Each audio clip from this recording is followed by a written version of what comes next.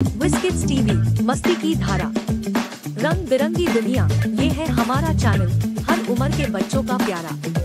विस्किट्स TV hello बच्चों, आज मैं आपको पंचतंत्र की एक और नई कहानी सुनाऊँगी, जिसका नाम है भूतिया पेड़।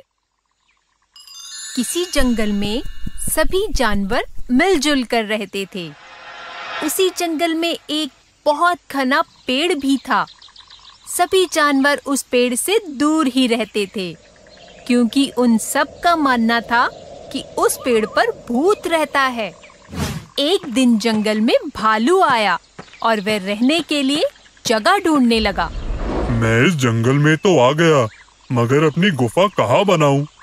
तभी भालू को वो भूतिया पेड़ दिखता है। यह जगह थोड़ी डरावनी लगती है। पर यहाँ शांति बहुत है। मुझे अपनी गुफा यही बनानी चाहिए। भालू उस पेड़ के नीचे पहुँचता ही है कि तभी वहाँ बंदर और हाथी आ जाते हैं और भालू को वहाँ अकेला देखकर बंदर बोलता है अरे भालू भाई तुम यहाँ अकेले क्या कर रहे हो? मैं यहाँ रहने के लिए गुफा बना रहा हूँ। भालू भाई तुम यहाँ अपनी गुफा नहीं बना सकते। यह जगह सुरक्षित नहीं है। सुरक्षित नहीं है? तुम कहना क्या चाहते हो? हाथी भाई ठीक बोल रहे हैं। इस पेड़ पर तो भूत रहता है। तुम मेरे घर के नीचे अपनी गुफा बना लो। वहाँ तुम्हें कोई परेशानी नहीं होगी। अगर यह सच है तो मैं अपनी गुफा बंदर भाई के घर के नीचे ही बनाऊँगा। तीनों वहाँ से चले जाते हैं। भालू अपनी गुफा ठीक उसी पेड़ के नीचे बनाता है। जिस पेड़ पर बंदर रहता था भालू निश्चिंत होकर वहाँ रहने लगता है। एक दिन भालू जंगल में घूमने के लिए निकलता है। घूमते घूमते वो उसी पेड़ के नीचे जा पहुँचता है। अगर इस पेड़ पर भूत रहता है तो वह मुझे इतने दिन से दिखाई क्यों नहीं दिया? मुझे लगता है यहाँ ज़रूर कुछ गड़बड़ है। भालू के ऐसा कहते ही पेड़ के ऊपर से आवाज़ आती है। तुम यहाँ आ तो गए हो लेकिन जा नहीं पाओगे। मैं तुम्हें खा जाऊँगा। कौन है यहाँ? मैं इस पेड़ पर रहने वाला भूत हूँ। भालू डर कर वहाँ से भाग जाता है।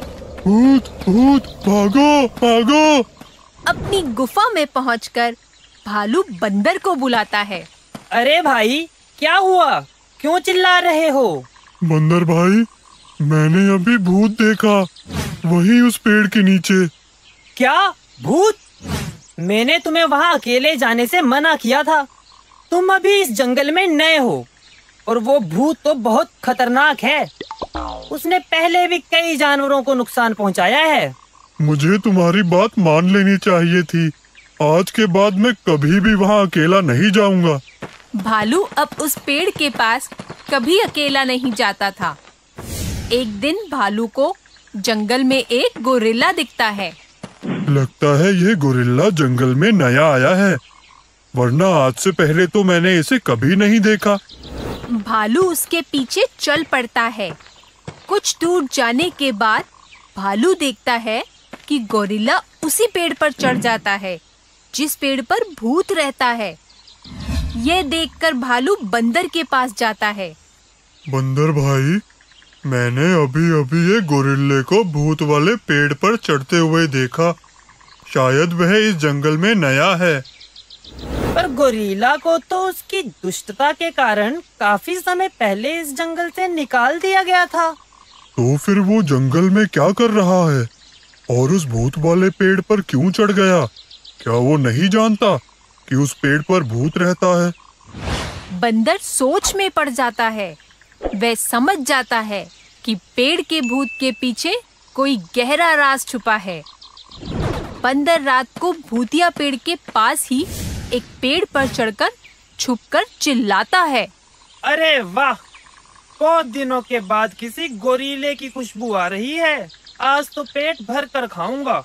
और यह गोरीला तो मुझे देख भी नहीं सकता क्योंकि मैं तो भूत हूँ। गोरिल्ला ये सब सुनकर डर जाता है। वह सभी जंगल के जानवरों को इकट्ठा करता है। फिर वह उन्हें सारी बात बताता है। बंदर अभी भी उसी तरह से चिल्ला रहा होता है। आज तो मैं गोरीले का मांस खाकर ही पेट भरूँगा। पर भूत तो इस पेड़ पर रहता था। फिर आवाज़ उस पेड़ से कैसे आ रही है? महाराज पेड़ पर कोई भूत नहीं रहता। आपने मुझे जंगल से निकाल दिया था। इसलिए मैं इस पेड़ पर आप सबसे छुप कर रहता था। सभी जानवरों को मैंने ही भूत बनकर डराया था जिससे कोई मुझे देख ना सके। लेकिन अब यहाँ सचमुच का भूत आ गया है। ये सब सुनते ही बंदर नीचे आता है और सबको बताता है।